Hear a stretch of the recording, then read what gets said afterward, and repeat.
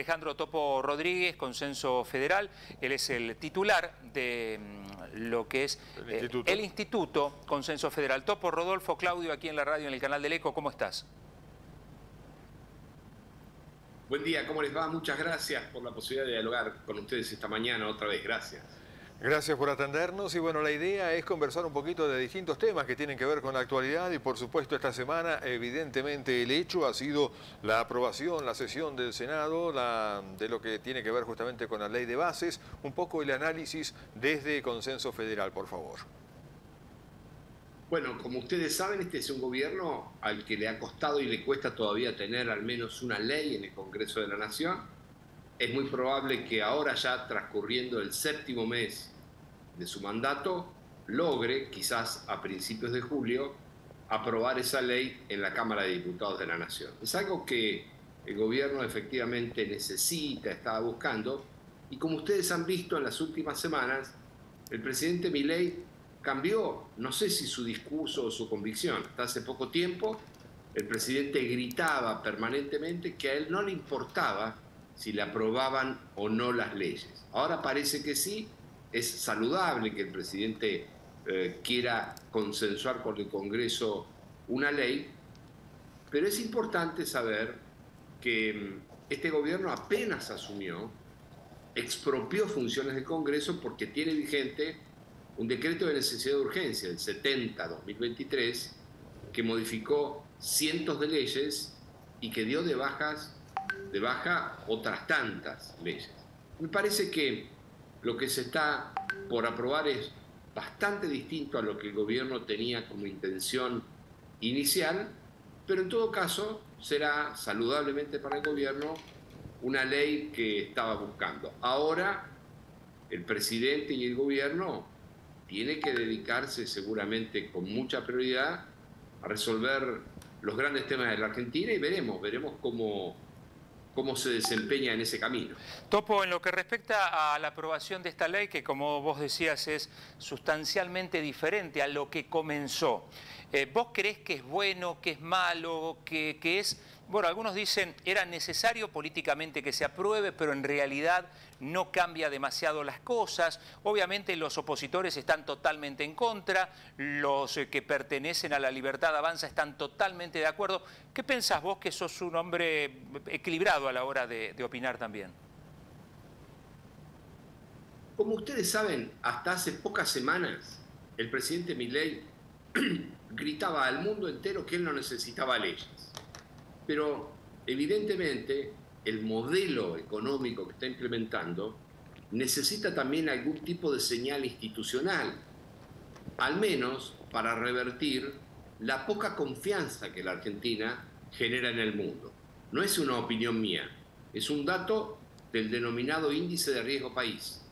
El riesgo país indica la confianza que en el exterior hay con los bonos soberanos de la Argentina y el riesgo país estaba creciendo. Por lo tanto, Independientemente de su contenido, que ahora podemos hacer algún comentario, desde el punto de vista de las señales, el gobierno se convenció que no tiene que denigrar al Congreso, que las profundas convicciones de rechazo que mi ley tiene hacia la institucionalidad republicana y el Congreso, al menos las tiene que disimular o esconder. Por eso busca una ley.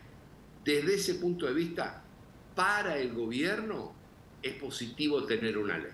Ahora, lo importante es que nosotros veamos cuál es el contenido de lo que se está aprobando y cuáles son sus posibles efectos sobre la realidad.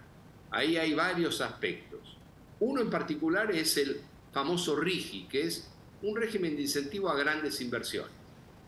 Hasta ahora, salvo algunos pequeños cambios que se le incorporaron, parece ser un sistema destinado a garantizar que grandes inversiones de más, de 200 millones de dólares, especialmente extranjeras, tengan certeza de aquí a los próximos 30 años, pero no hay ningún capítulo específico que promueva al menos medidas equivalentes para, que, para quienes generan 7 u 8 de cada 10 puestos de trabajo en la Argentina, que son las pequeñas y medianas empresas. Por lo demás, es muy importante hacer un seguimiento de ese capítulo del RIGI para que se garantice que el equipamiento local, en vez de la importación de tecnología, la creación de trabajo argentino sean los que se prioricen. Ustedes saben también que el gobierno quiere eliminar el régimen de eh, eh, fondos fiduciarios en la Argentina y prácticamente lo, lo está haciendo porque en el, en el eh, dictamen que aprobó el Senado efectivamente elimina los fondos fiduciarios. La pregunta es, ¿qué va a hacer el gobierno con esos recursos, con esa plata? Todavía no está claro. Y bueno, ustedes saben eh, que mm, hay una discusión todavía acerca de mm, eh, temas que tienen que ver con la moratoria jubilatoria. veremos cuál es la posición finalmente de la Cámara de Diputados de la Nación, porque el Senado no contempló la eliminación de la moratoria jubilatoria, hay toda una discusión. Eh, bueno, me parece que, que, esa es la situación con el gobierno. En síntesis, desde el punto de vista político para el gobierno es imprescindible tener al menos una ley aprobada en el Congreso. Nosotros tenemos que mirar un poco más allá y evaluar cuál es el impacto y los resultados de la aplicación de esa ley. Estamos conversando con Alejandro Topo Rodríguez, hacía referencia al tema de los fondos fiduciarios, hacía referencia justamente a lo que se ha aprobado. A todo esto, ¿cómo queda el tema de la zona fría? Un trabajo que usted, bueno, ha realizado muy importante cuando era diputado nacional. Queda sin cambios. La ley de zona fría no se ha modificado y los descuentos siguen plenamente vigentes hay desde el principio una intención del gobierno de eliminar la zona fría, pero el Congreso no se lo ha permitido. Ni los diputados ni los senadores le han permitido al gobierno eliminar el régimen de zona fría. Por eso, en un artículo en el que se eliminan o se permiten transformar o eh, reestructurar todos los fondos fiduciarios, hay un artículo, que es el artículo quinto, en cuyo texto final hace referencia a que no se altera el régimen de descuentos por zona fría aprobado por dos leyes del Congreso de la Nación. Por lo tanto, no hay ningún cambio y sigue plenamente vigente el régimen de descuento en gas para las familias, para el consumo domiciliario, para zona fría. Correcto. En algún momento usted mismo nos había planteado el tema que en el marco del famoso DNU, ahí sí le daba algún tipo de herramienta. ¿Cómo queda esto ahora después de la legislación justamente eh, que sale del Senado? Es muy importante lo que recordás, Rodolfo, y, y, te lo agradezco, porque sí, efectivamente, sigue vigente dentro del DNU 70-2023 un artículo que plantea la eliminación total de los fondos fiduciarios sin ninguna salvedad o sin ninguna restricción. A mí me parece que en algún momento el gobierno va a tener que sincerar eh, la situación y la Cámara de Diputados tiene que avanzar en derogar el DNU 70-2023. Ya lo hizo el Senado de la Nación. Si el presidente quiere tener en funcionamiento un sistema de institucionalidad republicana, tiene que ir a buscar al Congreso las leyes que necesita. No puede estar expropiando poderes del Congreso de la Nación, como por ejemplo con ese DNU 70-2023. Pero en cualquier caso, sí es importante resaltar lo que vos mencionás, Rodolfo, que todavía está pendiente la interpretación y eventual ejecución como una amenaza permanente de la eliminación del Fondo Fiduciario del Gas mediante el decreto 70-2023, que es contradictorio con esta ley claro que podría aprobarse a principios de julio. Ahora, si se aprueba esta ley, Topo, no, eh, digamos, no se deroga ese decreto, eso continúa y lo tendrá que derogar, pregunto, ¿eh? ¿El mismo Poder Ejecutivo? Es muy, muy importante ese punto que planteas.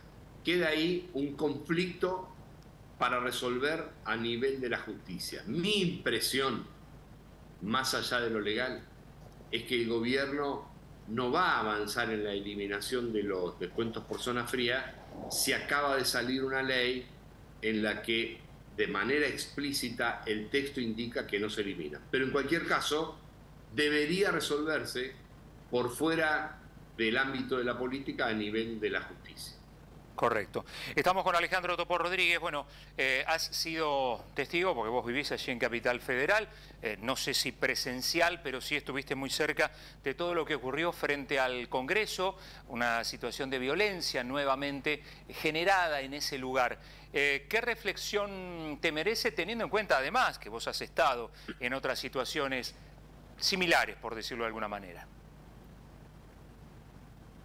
Llamativamente, desde, desde hace seis meses, Argentina tiene un presidente que agrede permanentemente, que descalifica, que tiene un nivel de violencia verbal y un grado de ensañamiento con la oposición y con el Congreso que no se vio nunca en los últimos 40 años en la Argentina.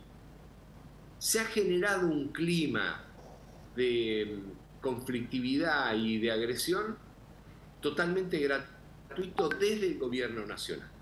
En ese contexto, lo que ha sucedido en, los últimos, en las últimas horas en, torno al Congreso de la Nación debe ser investigado en profundidad porque ahí parece haber situaciones distintas.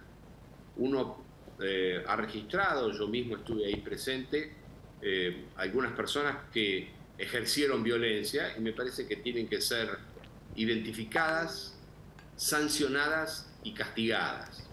Ahora, yo también vi situaciones extrañas, que también las he visto publicadas en, en, la prensa nacional.